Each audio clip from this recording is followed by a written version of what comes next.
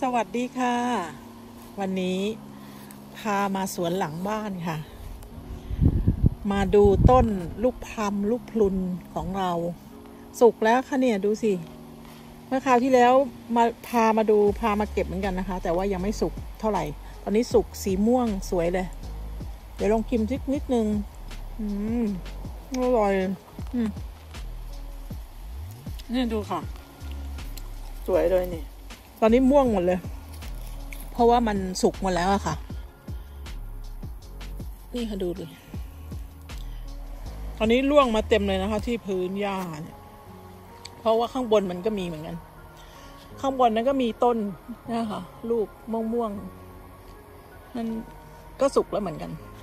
ตอนนี้ก็สุกแล้วค่ะ ตอนนี้ ข้างบนนะเต็มเลยค่ะ ข้างล่างนี่ก็อย่างที่บอกอะที่ย้อยลงมาเนี่ย ติดพื้นหญ้าเนี่ย เนี่ยค่ะอืมเพิ่งกลับมาจากทำงานนะคะ มาสวนหลังบ้าน มาหาอะไรกินผ่อนคลาย เหนื่อยมาทั้งวันทำงานทั้งวันวันนี้ โอ้ได้กลับบ้านก็มีความสุขเนี่ยลูกนี้สหน่อยสหน่อย ตอนนี้สุกหมดแล้วค่ะเนี่ย หวานเดียว ไม่ต้องไปซื้อเข้าเลยนะเนี่ยดู สิ นี่ร่วงอยู่ที่พื้นหญ้าเต็มเลย เราไม่ได้มาเก็บ นกนกมันก็คงมากินกันบ้างเนี่ยค่ะ ดูสิ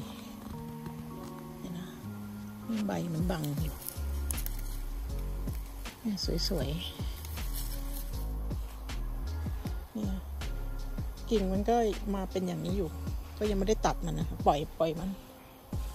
เพราะว่าเรา ยังไม่ได้เก็บลูกมากิน เดี๋ยวเก็บลูกมากิน เก็บกวาดให้เรียบร้อยแล้วก็ตัดแล้วกันเพราะว่าตัวต้นมันเนี่ย ตัวต้น ต้นที่มันเป็นตัวแม่เนี่ย มันยืนอยู่ตัวเนี้ย คือต้นใหญ่ของมันเนี่ย ไอ้อันนี้ค่ะ ตัวต้นนี้ต้นใหญ่ ส่วนไอ้ที่กิ่งที่มันโอนมาทางทางสนามหญ้านี่ก็คือไอ้สามเนี่ยค่ะสามสี่กิ่งเนี่ยค่ะ มันกิ่งมันไม่ค่อยใหญ่นะคะ แต่ว่าลูกดกมากเลยค่ะเนี่ยดูสิ เต็มเลย คือถามว่าดกมาก เปรียบเทียบกับที่อื่นๆไหมที่เราเคยเห็นในคลิปก็อาจจะไม่ถึงขนาดนั้นนะคะ แต่สำหรับตรงเนี้ยมันดก ของบ้านเราเนี่ยมันก็มีให้กินขนาดเนี้ยค่ะดูสิเนี่ยสวย ลูกนี้เป็นไรไม่รู้แต่สองลูกนี่ยังสวยอยู่นะคะเนี่ยเนี่ยถ่ายไปด้วยกินไปด้วยค่ะเนี่ย เนี่ยนี่ก็มี ให้ดูข้างหลังใกล้ๆ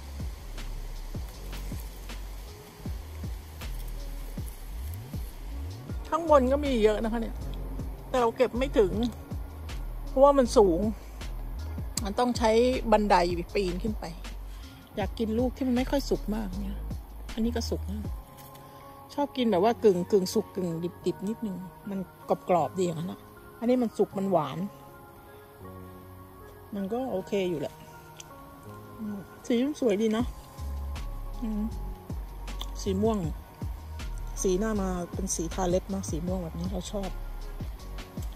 ดูสิ นี่ข้างล่างห้อยเนี่ยค่ะลูกขนวนค่ะ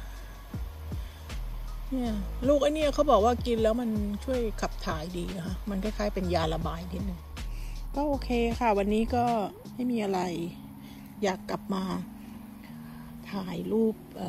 ลูกพลัมลูกพรุนที่อยู่สวนหลังบ้านให้ดูอีกครั้งหนึ่งค่ะว่ามัน มันหน้าตาเป็นยังไง มันสุกไปถึงไหนแล้ว เปรียบเทียบจากเมื่อคราวที่แล้วเป็นที่ครั้งแรกที่มาถ่ายให้ดูค่ะตอนแรกมันยังกึ่งสุกกึ่งดิบนิดนึง ตอนนี้มันมันโอ้โหไม่เอาถือกล้องหยิบกิ่งไม่ได้ เนี่ยค่ะ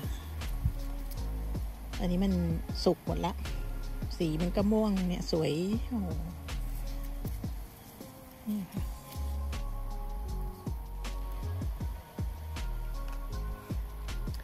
ก็โอเคค่ะ เดี๋ยวโอกาสหน้าเจอกันใหม่ค่ะ ขอบคุณค่ะ บ๊ายบายค่ะ